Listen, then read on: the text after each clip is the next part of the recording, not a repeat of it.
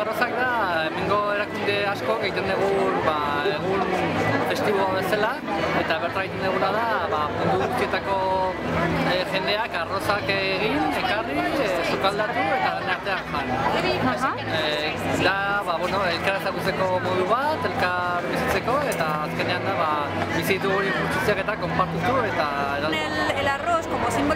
uh -huh. que es igual, el arroz en sí es arroz, pero en cada cultura se cocina de una manera diferente. Entonces ese es el espíritu de interculturalidad que Arroces del Mundo en todas las partes donde se hace quiere reflejar.